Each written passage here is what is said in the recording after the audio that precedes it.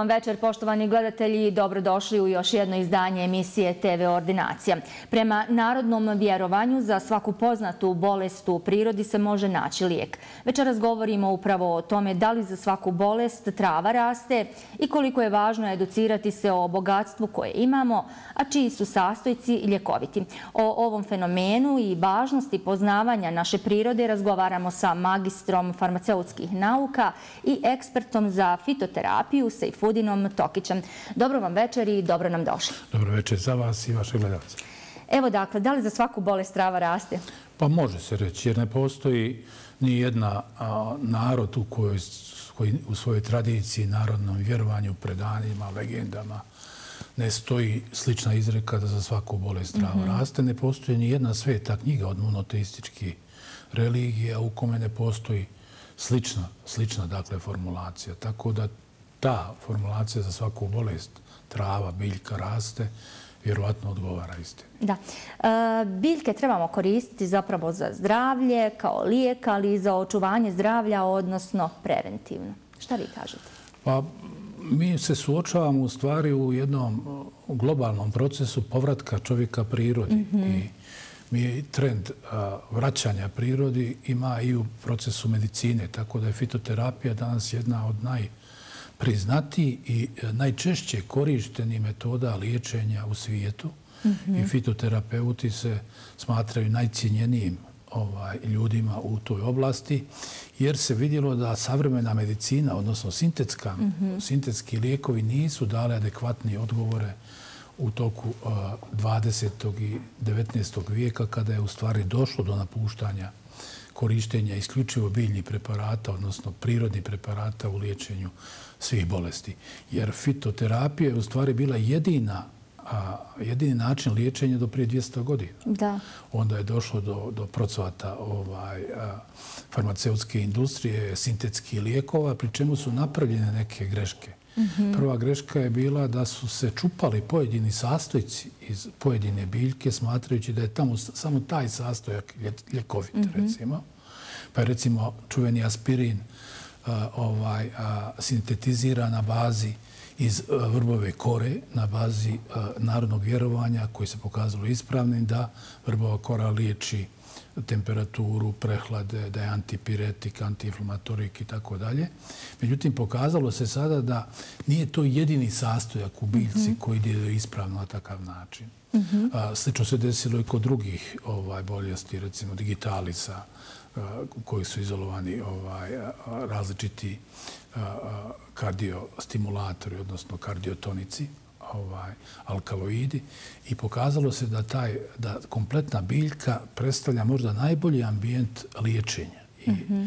I danas možemo govoriti prema podacima Svjetske zdravstvene organizacije, najveći broj ljudi se naravno liječi tradicionalnom medicinom ovaj, u Kini, zbog najvećeg broja Kineza i Indijaca. Druga, dakle, način liječenja po, po rasprostranjenosti, po broju ljudi koji se liječi je homeoterapija, dakle, mm -hmm.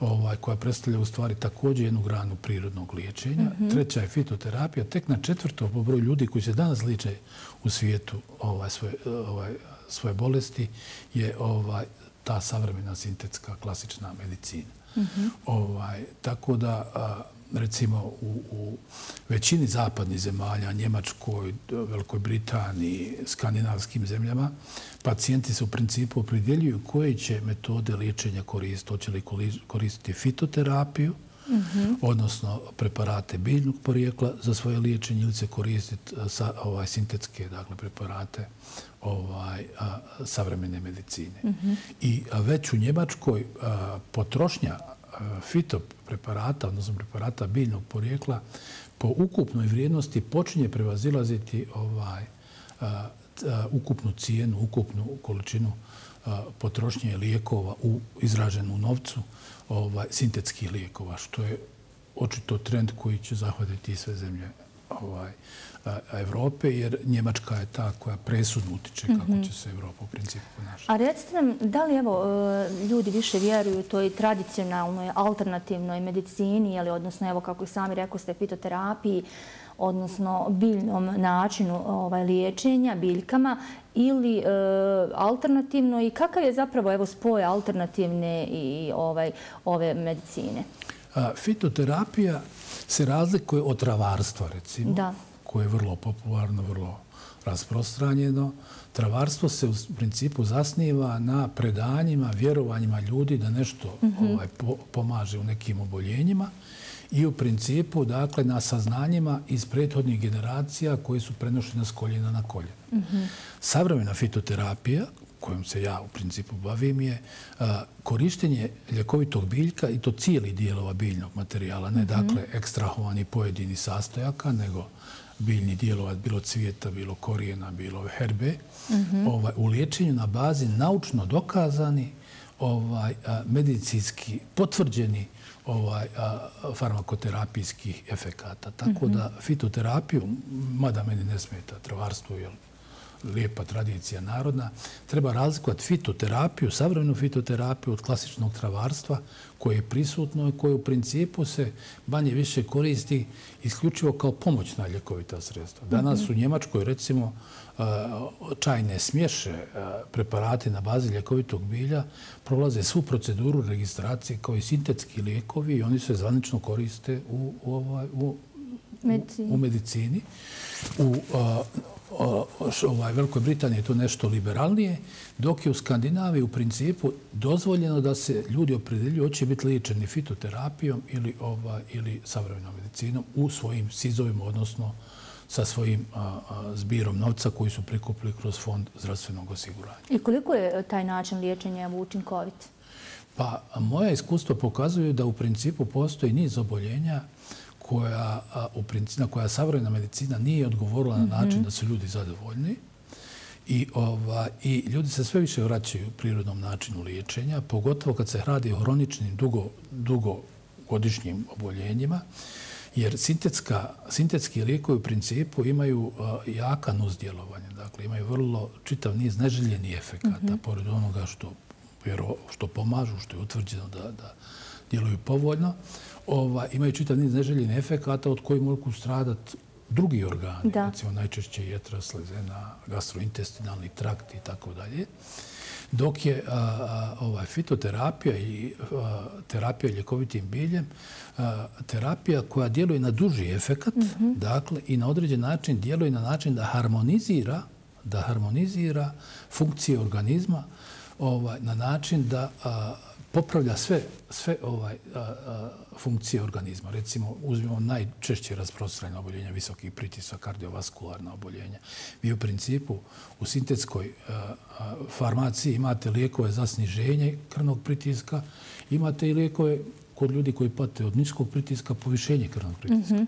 Vi recimo sad imate naučno dokazano i medicinski u istraživanjima i studijima potvrđeno djelovanje nekoliko biljaka koje normaliziraju pritisak. Ako treba ga smanjiti, harmonizirati sistolni, diastolni pritisak, poput recimo gloga i mele, to je već naučno mm -hmm. dokazano, Tako da su te, ovaj, kako bih rekao, biljke puno zahvalnije za ta hronična oboljenja, jer nemaju ti štetnih efekata, pacijent se lagodnije osjeća, nije ošamućen, da, da. ne stradaju mu drugi organi.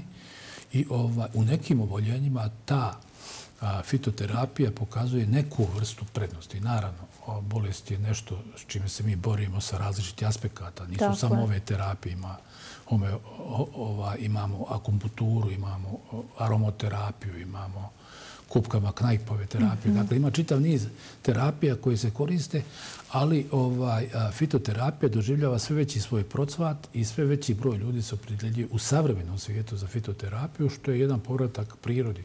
Jer očito čovjek je u, u kako bi rekao, u nipodaštavanju onoga što je priroda ponudila Tako je. i što predstavlja neko vijekovno iskustvo. Pazite, mi imamo recimo krasni primjera u kome se pokazalo da je znanstvena medicina bila u potpunoj zabludi, recimo, sve do 28. godine u, a, u ovaj narodnoj medicini, u, toj, mm -hmm. u tom ovaj, se preporučivalo uzimanje pljesnavog hljeba za liječenje određenih oboljenja I to se savremenici iz medicine se zgražavali nad tom činjenicom.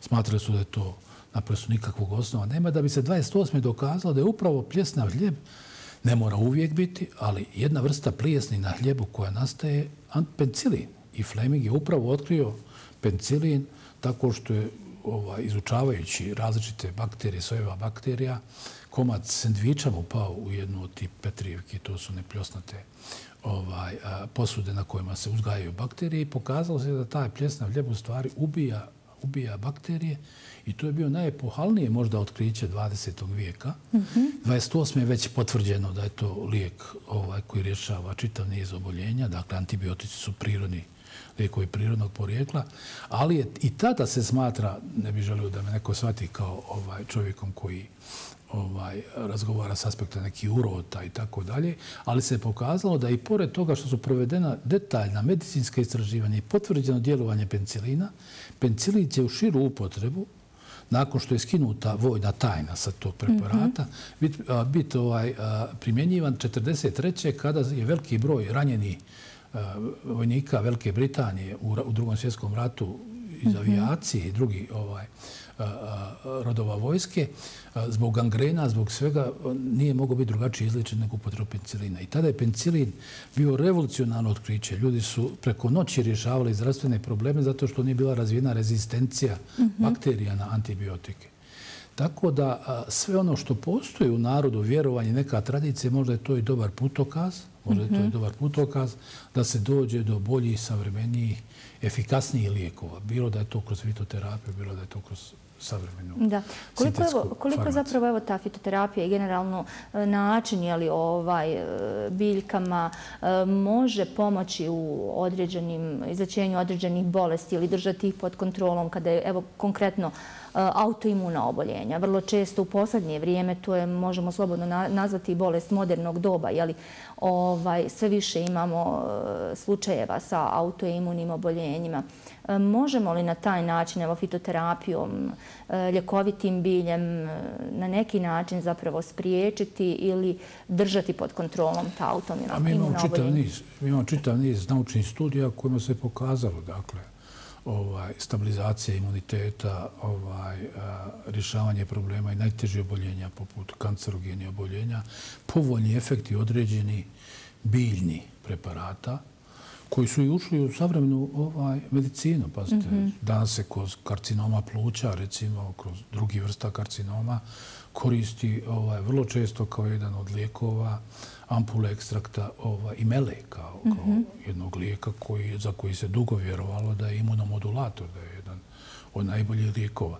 Drugo, ova, imate sad upravo je u toku ovog COVID-a, recimo, mm -hmm. utvrđeno da je najbliži uspješnosti eventualnog liječenja tog specifičnog virusa ovaj, COVID-19 bio slatki pelin, kod nas poznat kao bejturan, i provedena su istraživanja u kome se vidjelo da taj bejturan ima određeno djelovanje. Bejturan je biljka koju sve naše nene, sve ovaj bosanske avlije mm -hmm. imaju prisutne uz, uzgojena, zato što je bejturan na određen način posebna biljka. Evlija Čelebija im spominje obilazeći Bosnu da bosanske hađije nisu htjeli ići na hađ, dok ne pripreme vrećicu suhog bejturana kojim bi putovali, tada su naravno put na hađi trajao nekoliko mjeseci ovaj, jer se išlo sa svim drugim prevoznim sredstvima, jer se smatralo da je bejturan lijek za sve bolesti. Djelovanje bejturana je pokazalo antikancerogeno djelo, antivirusna, jačanje imuniteta, preventiva kroz poremećaja imuniteta. Pazi, poremećaja imuniteta dovode do čitavog niza bolesti. Recimo, alergija je jedna vrsta poremećaja imuniteta. Tako da se ta narodna vjerovanja posebno prisutna u Bosni te kako pokazala na određen način. Da. E, čovjek današnjice često gazi e, neke biljke, dakle, jer je nesvjestan zapravo šta je to, je li tako, i koje zapravo te biljke e, se benefite posjeduju. Potreban je zapravo i određeni jeli, ovaj, nivo i dio znanja da bi ih cijenili. Šta vi kažete na to? Pa mi, nažalost, nemamo sistematski pristup edukaciji ljudi o ljekovitom bilju. Mhm. Dakle, o blagodetima ljekovitog bilja, što je potpuno pogrešno. Prvo što imamo ovaj opšti trend povratka prirodi, prednosti fitoterapije, ali imamo i činjenicu da je možda po raznolikosti biljni vrsta, pogotovo ljekoviti biljni vrsta, Bosna i Hercegovina u samom vrhu evropskih zemalja, jer mi imamo taj sudar na, na, na ovim prostorima, baš iznad Bjelažice, imamo sudar mediteranskog i kontinentalne klime, imamo, mhm. dakle, mediteransku klimu u Hercegovini. Dakle, imamo čitav niz ovaj prostora sa ekološkog aspekta koji su izuzetan ambijent da se tu pojavljuju i rastu ljekovite, vrlo ljekovite biljne vrste koje postoje samo u, to, u tim dijelovima, mm -hmm. kao specifikum, kao bilo da su to endemične, reliktne ove biljne vrste, ali i biljne vrste za koje mi uopšte ne znamo. Recimo, mi smo sad svi čuli nakon ovog povratka u prirodi da je crno sjeme, odnosno čurokot, i ono se počelo primjenjivati ovaj, upravo kod ti, kod ti teški oboljenja za imunitet i tako dalje, je biljna vrsta koja, koju mi imamo samoniklu u nekim područjima Hercegovine. Dakle, a, a, ne postoji kod nas dovoljno znanja o tome, nažalost, ni a, medicinske škole, ni fakulteti koji se bave zdravstvom, nemaju dovoljno educirani ljudi koji bi mogli tu biljku prepoznati u prirodi, dakle, nauči čovjeka prvo da je prepozna, pa onda da ovaj, i, i, nauči njene ovaj, farmakološko aktivne substance, njene botaničke i, i, i medicinska ovaj, svojstva, pozitivna svojstva. A, vjerovatno će se to mijenjati sa pojavom tržišta, jer mi danas uvozimo ogromne količine fitopreparata, da. ogromne količine, i to od biljnih vrsta koji mi imamo u Bosni u velikim, velikim količinama, a iz Bosne izvozimo najčešće po vrlo jeftinoj, zanemarljivoj cijeni samoniklo kvalitetno ljekovito bilje koji skupljaju ovaj, ruralno stavništvo i daje otkupnim stancama da bi neko to najobičnijom preradom uspio ovaj, dovesti do 10-20 puta veće cijene u povratnim nekim proizvodima. Da, nažalost. Ovaj, nažalost, nemamo mi ovaj, ni dovoljno saznanja, ni edukacije, ovaj, ni odrasli ljudi, recimo, taj interes izuzetno postoji. Ja sam suočio sa ogromnim brojem traženja da pomognem ljudima da prepoznaju neku biljnu vrstu, da im omogućim da uz nekim svojim dvorištima ili vikendicama ovaj, uzgajaju neke biljne vrste. To pokazuje da interes ljudi za ljekovito bilje je ovaj nešto što dramatično pozitivno raste i što je dobro. Mm -hmm. Naravno, uvijek se mora imati u vidu da ljekovito bilje ne mora znači da nije neškodljivo i da se mora stručnom primjenom tog ljekovitog bilja i kombinacijama tih čajnih smješa obezvijeti adekvatna fitoterapija. Da, ali evo kako zapravo prepoznati tu ljekovito ovaj, bilje, uzevši u obzir da evo, e, nisu zapravo sve biljke ili tako ni za korištenje. Imamo i onih koje su zapravo otrovne i ne bi se na kraju krajeva jedni trebalo igrati, ali ovaj, ukoliko ne posjedujemo osnovno znanje ovaj, ni sa biljkama. Pa naravno, zato i ove, ovakva emisija i ovakve emisije ovaj, na određen način izazivaju veliki interes mm -hmm. gledalaca, pogotovo ako se one snimaju u prirodnom ambijentu da ljudi to mogu prepoznat. Ali je već sad postalo, kako bi rekao, praksa da veliki broj ljudi recimo iskorištava te ovaj, koristi te sezonske biljne vrste mm -hmm. ovaj, u proljeće koji se pojavljuju od ovaj, maslačka, od, pa prave taj ovaj, sirupe od maslačka koji je izuzetno ljekovita biljna vrsta koja naprosto sve funkcije organizma stavlja u jednu povoljnu funkciju, pravi sokove i sirupe od zove koja je izuzetno mm -hmm. ljekovita biljna vrsta. I smatra se recimo da je s aspekta jačanja imuniteta antivirusnog djelovanja u vrhu, čak i, i puno bolja od ehinacija koja se smatrala recimo jedna biljna vrsta ovaj koji mi uvozimo, koja se smatrala kao nekim liderom mm -hmm. u mhm. biljnom svijetu tog antivirusnog ovaj, imunitetsko ovaj, jačanje imuniteta. Ali tu je i žara i srijemoš. Kopriva je recimo, kopriva je recimo pa, jedna od biljnih vrsta, čuveni e, fitoterapeuti, ovaj, recimo MSŽ, francuski, mm -hmm. govorio ovaj, da kad bi birao koju biljku i čitav niz drugih velikih poznavalaca u istoriji ljekovitog bilja, kad bi birao biljku koju bi izabrao i da, u odnosu na sve, to je kopriva. Recimo, jer kopriva ima čudesna ovaj, a, pozitivna djelovanja u svakom pogledu. Na kraju krajeva to je pokazalo recimo da je ona u Černobilskoj katastrofi bila najmanje ozračena od svega živog i mrtvog što je bilo blizu tog Černobila. Tako da se tu potvrdila još jedna izreka koja je nastala negdje u vjerovatno u starogermanskoj tradiciji neće grom u koprive. Koprive. Tako da, ovaj, a, s aspekta recimo željeza, ovaj, a, kada spominjemo koprivu, ona sadrži deset puta više recimo željeza i drugi neophodni minerala u odnosu na špinat koja uzgled bude rečeno može biti rizična upotreba. Ne smijete podgrijavati špinat. Tako da se može govoriti da je žara nešto kopriva, da je nešto što je, ima izuzetne nutritivne, dakle, hranljive vrijednosti, ova izuzetno ljekovite vrijednosti njena djelovanja, sad da, da ne posvećujem... Moram vas prekinuti samo kad već govorite o žari i njenoj ljekovitosti. E, kako zapravo možete li dati našim gledateljima e, možda savjet, e, kako i na koji način spremiti tu žaru, a da ne izgubijali ovaj, ta svoja dobra svojstva? Po principu za čaj se sad uzima upravo vršni dijelovi biljke, listovi koprive. Da koprive ima svogdje, dakle potrebno je uzimati i brati na prostorima koji nisu kraj puteva, koji nisu na zagađenim prostorima mhm. zbog aerozagađenja. Ova, a nje ima svugdje, pa dakle, ona mhm. naprosto se pojavuje kao korov. Ova, I pripremiti čaj.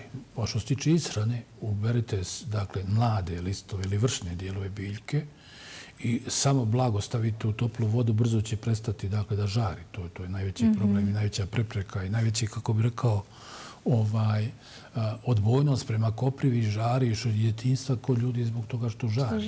Mada, recimo, to žarenje je vrlo korisno u liječenju reume, u liječenju nekih kožnih oboljenja. Tako je, li to, je li to zdravo? Jeste, dakle, to je bio jedan od načina liječenja, ovaj, jer mhm. ona uspostavlja drugačiji odnos i čak ona žarenje biljke, ovaj, smanjuje bolove, recimo teške bolove, recimo, jer mhm. ona uspije, kako bih rekao, na određen način transformisati ovaj, receptore bola, tako da su bolovi kod teži oboljenja, ako se ožarite, puno lakše podnositi. Tako da i ta, to žarenje nije nešto što je, kako bih rekao, štetno.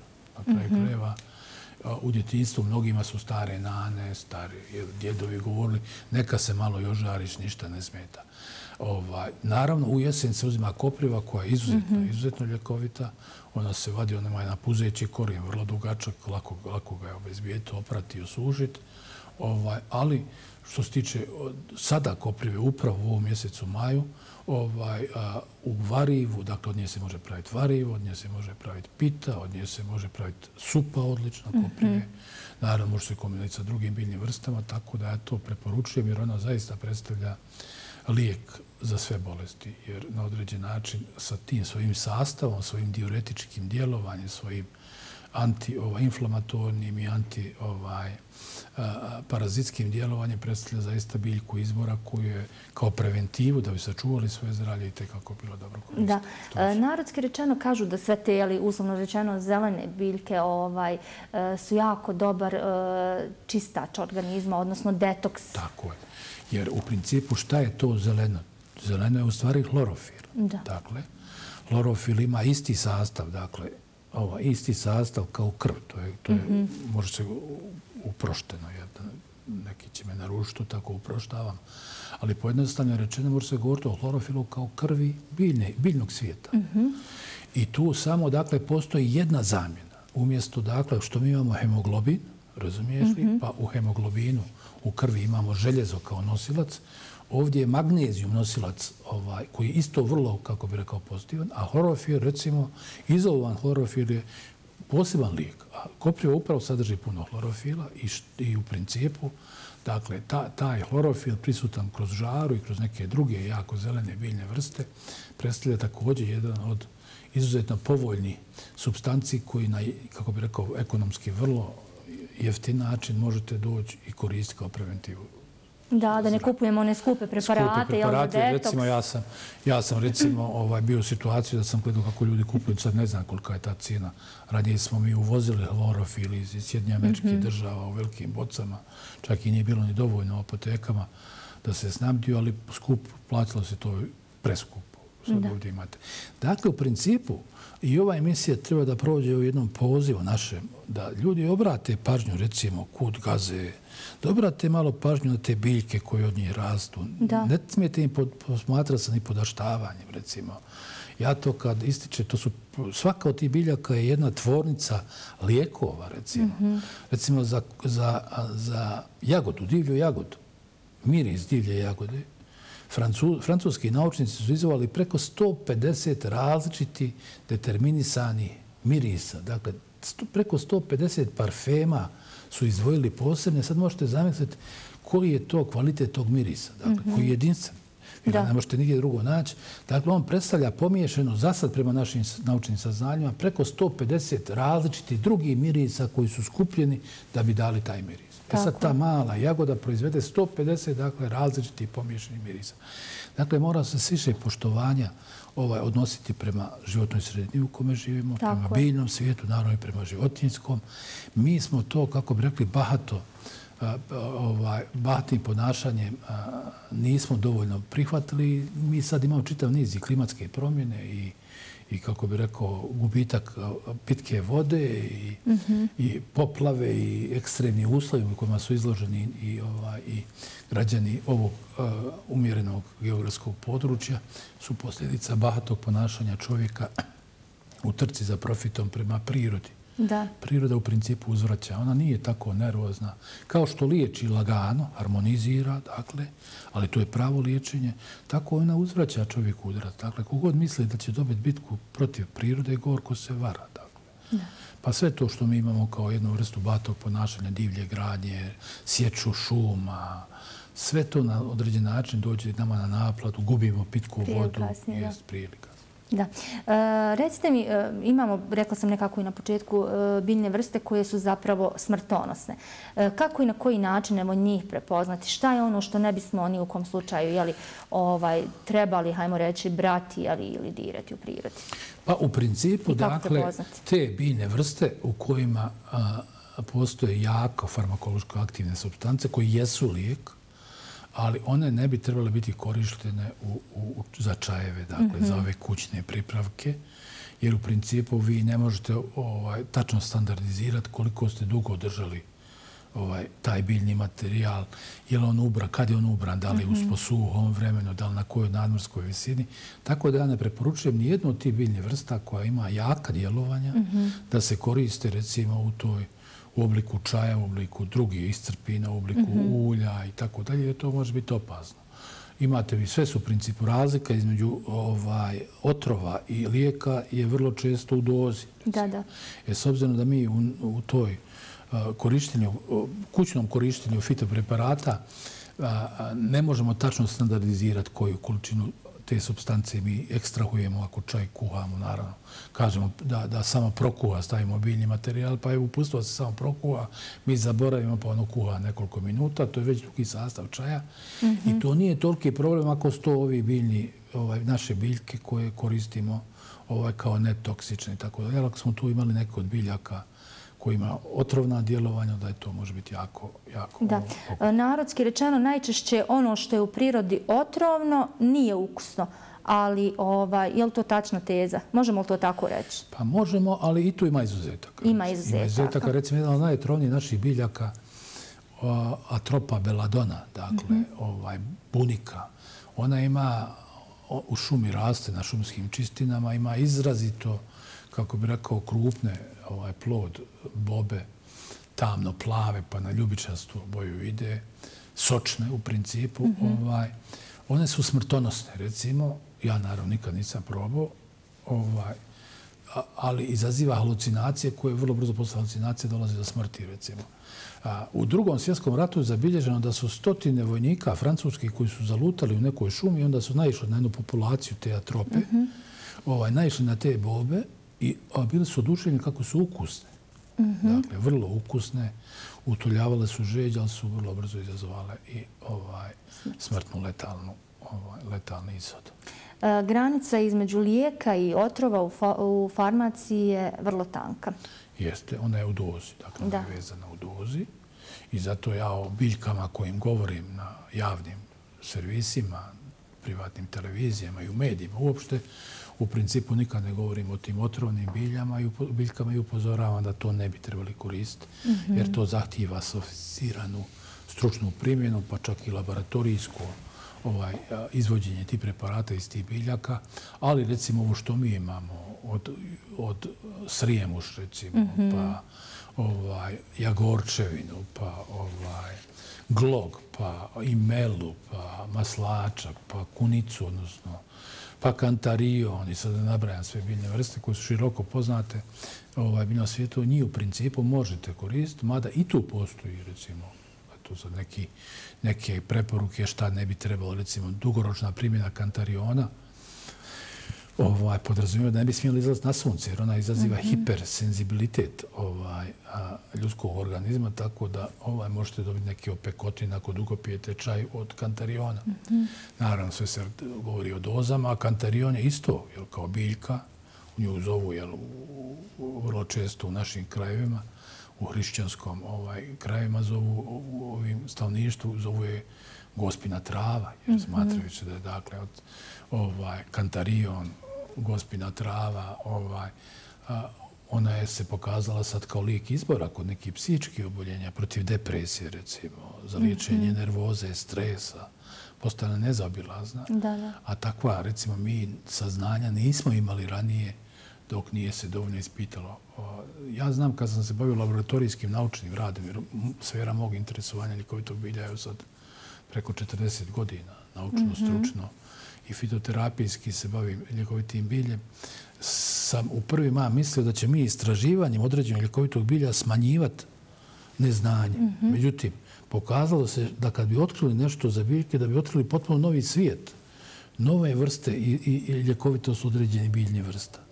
E sad, naravno da je tu bitno biti educiran i naravno da je potrebna neka stručna primjena, jer različito se ovaj priprema ovaj kantarion, recimo, za kožna oboljenja, različito se priprema za unutrašnje bolesti, a nesporno je to ovaj biljka koja u nekom svom a, djelovanju ima sigurno djelovanje na preko 10-20 oboljenja, vrlo mm -hmm. prisutni u, u, u, ovaj, u, kod stavništva. Da. Ali svaki put se mora govoriti o preparatu i kombinaciji raznih biljne vrsta koji bi dali najbolji efekat. A to bi trebala biti uloga fitoterapeuta za koju se ja nadam da će se proizvesti škola i da će biti ljudi koji će se detaljnije obučavati o ljekovitim svojstvima biljne vrste, jer mi, nažalost, sad nemamo puno ljudi koji to znaju. Nažalost, ljudi završe medicinu, specializacije, da ni jednog sata oni ništa od ljekovitom bilju nisu. I naravno, kad nešto ne znate ništa o tome, i ljudi onda odbacuju nepoznato. Mm -hmm. Po psihi vlastito ljudi odbacuju nepoznato. Ako vi ne znate nešto, ne bi vi mi to. Ja ne znam to i tako da. Plašimo se nepoznato. Je potrebno je educiranje. Sad se to je, ovaj medicina postala i multidisciplinarna. Naravno da je potrebno. I postoje dakle škole sad za fitoterapiju ovaj, a, a, u kojima se ciljano uči dakle, i farmakologija, i patofiziologija, i mm -hmm. fiziologija, ovo, i farmakologija. To su sve neophodna znanja da bi bili dobar fitoterapeut. Tako je. E, gospodine Tokić, nastavit ćemo naš e, razgovor. Idemo kratko na marketing. E, poštovani gledatelji, svakako prije toga želim da zahvalim sponzoru emisije TV Ordinacija, BH Telekomu, koja je omogućila realizaciju ove emisije. BH Telekom je društveno odgovorna kompanija koja podržava projekte značajne za širu društvenu zajednicu, poput kulture, filma, sporta i čovjekovog zdravlja uopće. Tako i ovog puta mi se zahvaljujemo kompaniji BH Telekom koja je omogućila realizaciju ove emisije, a mi u budućnosti smo opredjeljeni da kao televizija u saradnji sa BH Telekomom dobre priče nastavljamo.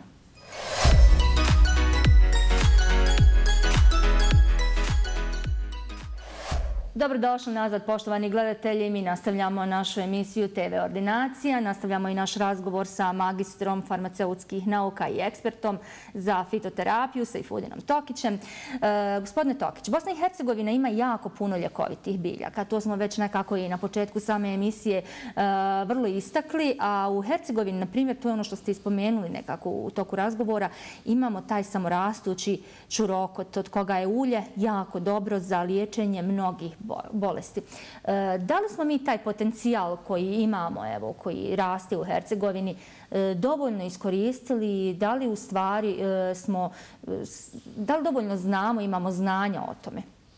Pa nismo dovoljno iskoristili. Recimo, sporadično se pojavljaju ljudi koji uzgajaju određene biljne vrste, ali to je daleko iznad, ispod onoga što bi moglo predstavljati ekonomski interes i zemlje i pojedinaca. Mm -hmm. Recimo, u Hercegovini već imate nekoliko ljudi koji uzgajaju bejturan, slatki pelin, dakle, mm -hmm. ovaj, na, na ercegovačkim. Bilo je vrlo rašireno smilje, ali ovaj, u, ovaj, odnosno uzgoj smilja, ali je iz nekih ovaj, razloga, jer je očito bio neki politički projekat, to propalo. Ali a, uzgoj ljekovitog bilja nije dovoljno zastupljen u našoj zemlji s obzirom na klimatske pretpostavke Ni sam otkup nije dovoljno iskorišten, jer vrlo jeftino prodajemo dakle, samo herbu, biljke, umjesto da to preradimo, recimo, ovaj, i ovdje iskoristimo, dođemo do eteričnih ulja i tako dalje. I ovaj, a, nažalost, to je jedan od bitnijih resursa koji bi mogo biti poticaj čitav nizu drugih grana, recimo, i medicini, naravno. Sad mi imamo, recimo, zdravstveni turizam vrlo rasprostranjen, recimo, vrlo rasprostranjen. I moram reći da mi još uvijek nismo došli na nivo koji smo imali prije ovaj, agresije, prije rata. Ovaj, ja znam da smo mi poslije olimpijade imali jedan program na olimpijskim planinama gdje smo turiste e, ovaj, a, a, a, imali program u kojem smo s turistima šetali po olimpijskim planinama ukazujući im na ljekovite bilje i pokazujući im da ako imaju neke tegobe da sami mogu to ubrat mm -hmm. i ovaj, ponijet, koristit. Ja moram reći, pogotovo Britanci, Englezi, recimo, oni su uvijek počeli već niz godina dolaziti i koristiti isključivo tu vrstu forme ovaj boravka na Igmanu mm -hmm. u toku ljeta. Iako je ta tura naša zbog raznih jeli, ovaj, cijena bila skuplja čak od jednodnevnog izleta u Dubrovnik, oni su bili spremni platiti i tu cijenu i bili su vrlo, kako bih rekao, pozitivno orijentisani. Mi nemamo niti dovoljno ljetnih škola, niti ljetnih kampova za omladinu, recimo, u kome bi sad, recimo, kad se dijaspora ovdje vrati, mogli te ljetne kampove iskoristiti da djeca nešto nauče. Jer poznavanje ljekovitog bilja, flore, ovaj, vlastite zemlje je također jedna vrsta patriotizma, znate. Mm -hmm. Jer to pripada nama, pripada ovom tlu, recimo. Tako je. Ljudi često gaze neke biljne vrste koje rastu u čitave zemaljske kugle samo na tom području, recimo. Bez obzira što ima mnogo. Endemična biljka ne podrazumijeva da je ima malo, mm -hmm. nego da raste samo na ograničenom ovaj, ekološkom prostoru. Da, da. A, tako da se to na određen način je, može biti razvijeno kao jedan vrlo profitabilna ekonomska grana koja će pomoći razvoju turizma i zdravstvenog turizma i unapređenju medicine i ekonomskom boljitku, pogotovo ruralnog stavništva mm -hmm. koji, ovaj, koji boravi, ali naravno treba razvijati i proizvodne kapacitete. Dakle, ne treba iz ove, iz ove zemlje ići, recimo, ne znam, nija šumski plodovi, aromatično, ljekovito bilje u, u tonama, ovaj, da bi tamo bilo nešto prerađeno ovaj, da, da, da. površno pa vraćeno po 10-20 puta većoj cijeni.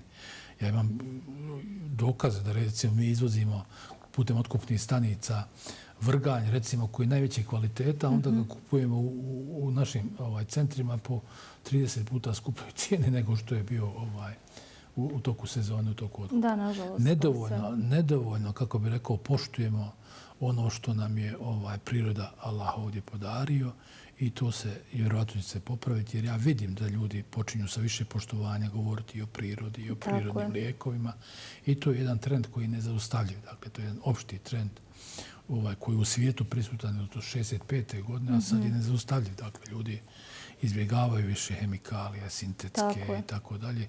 Povratak prirodi je nešto u čemu bi vi trebali a, a, napraviti projekte i programe koji će naprijediti ovu državu, a ne uništavati, recimo, kroz, ne znam, ja, divlju gradnju, kroz, kroz uništavanje onoga što je čuvano, recimo, a, a, a, stotinama, vijekovima prije toga. Mi smo, recimo, patim ponašanjem na Igmanoj Bjelašnici gradnjom ovaj, uništili, pitku, pogotovo, jeste, uništili pitku vodu na, na Igmanu i doveli Sarajevo do, do situacije da će izgubiti vjerovatno pitku vodu ako ne zaustavimo tu divlju gradnju. Nekompetentni ljudi su na mjestima odlučivanja. Nažalost. Ljudi koji su nekompetentni, usput, kako bi rekao, vrlo ovaj, opredeljeni samo za vlastiti, ovaj, za vlastiti profit, ni po koju cijenu, dakle, po svaku cijenu hoće da dođe do tog profita i tu strada i naša zemlja i naši resursi i mislim da bi sve ovo mogli puno bolje koristiti jer smo najboga, jedna od najbogatijih zemalja po raznolikosti pa i količinama koje imamo. Da. Ljekovitog, aromatičnog, da. jestivog bilja šumskih plodova. E, na početku smo nekako i, e, i u najavi samoj smo rekli da je fitoterapija zapravo oblast u kojoj ste također jeli, ovaj, ekspert. Živimo zapravo u vremenu kada službena medicina ne zadovoljava ovaj, potrebe modernog čovjeka, posebno onog koji e, zapravo ima potrebu da se na njegove zdravstvene probleme odgovori na drugačiji način. Pa to ima više aspekata. Fitoterapija nudi rješenja za preventivu. Dakle, fitoterapija nudi da uz ugođaj svakodnevnog pijenja čaja, koji je puno zdraviji od onih, mhm. kako bi rekao, sintetskih kesica, filter vrećica i tako dalje, jer na kraju krajeva vi ste svjedoci da ako udete u klasični restoran i poručite, ovaj, recimo, čaj od mente, on vam ne izgliza, neće mirisati koliko, kao što uberete mentu Tako u recimo svježu ili osužite vi na, na kraj svoje vikendice, na svom imanju i tako dalje. Tako recimo, u svijetu recimo cijena prirodne mente, čaja od mente, dakle prirodne, dakle, predstavlja vrlo visoko cijenu tamo, to 50 eura košta da vam stavi grančicu ovaj, uzgojene mente, prirodne mente, u čaj da popijete taj čaj. Naravno, jer, jer sve blagodeti tog čaja tada osjetite. I aromu i sve. Mm -hmm. ovaj, a, mislim da, da, da, da će se to desiti, a evo ovakvi sadržaji koji imaju edukativni ovaj karakter i pomoć da se to brže desi. -hmm. se desi zahvaljujući svima nama. Svako od nas mora preuzeti dio odgovornosti za ono što se dešava. Dakle, a možemo, možemo kraj, kraj, na svom komadu zemlje uzgojiti nešto biljnog materijala. Možemo, recimo, naše nene su u svojim avlijama imale sve. Tako je. Čak su imali i mak, koji je sad zabranjeno. Ali su imali i bili mak koji su uzgajali pa do...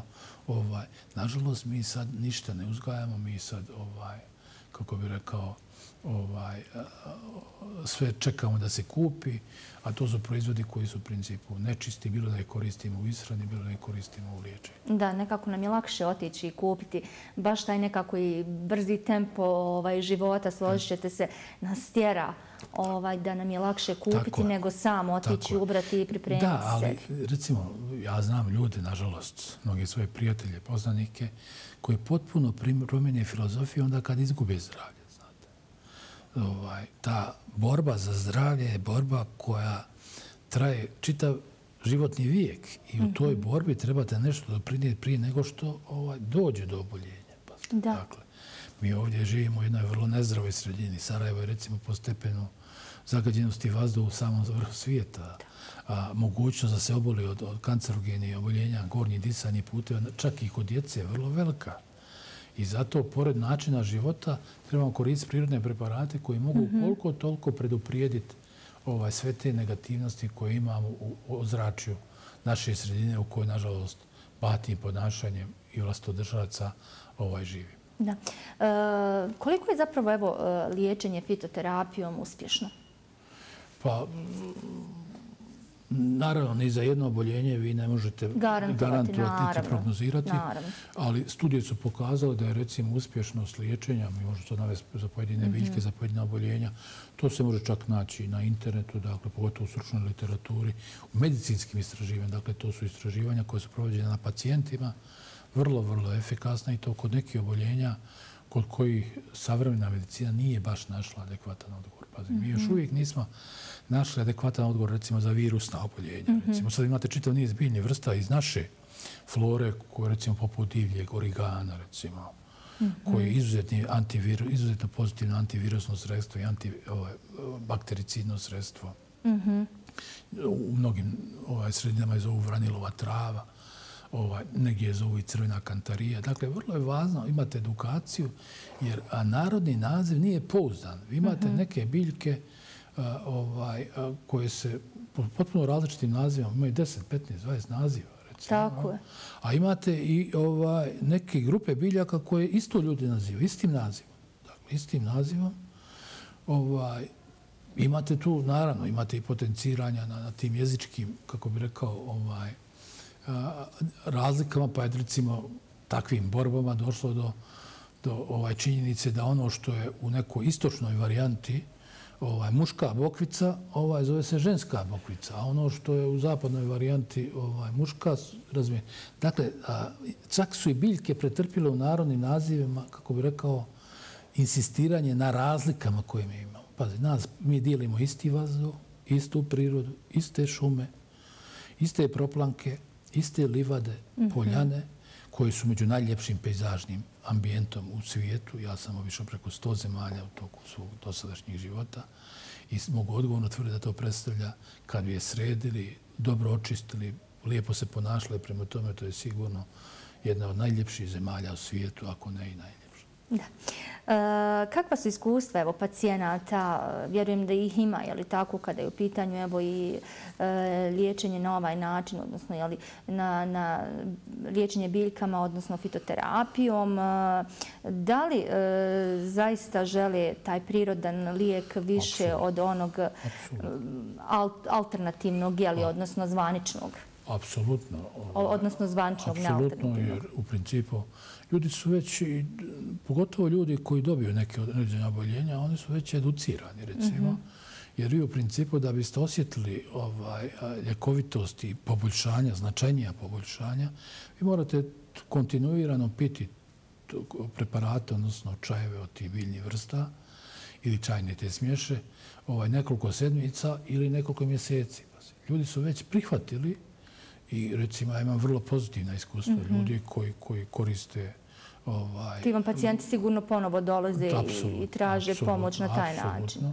Naravno, pri svemu tome se mora voditi računa da nisam ja taj koji uspostavlja dijagnozu, ljekar mhm, uspostavlja dijagnozu i na bazi te dijagnoze onda se može odrediti određeni biljni preparat čajna smješa, ali na bazi utvrđene ljekarske dijagnoze. Jer ljekar je, je obučen i ljekar izučava medicinu da bi uspostavio dijagnozu. Dakle, da, da bi rekao čovjeku šta je njemu. Dakle, ono što mi imamo kao simptomi, povraćanje, visoka temperatura, razumiješ li, pa čak i krv u stolici, može biti simptom različitih, potpuno različitih oboljenja, recimo. Ovaj.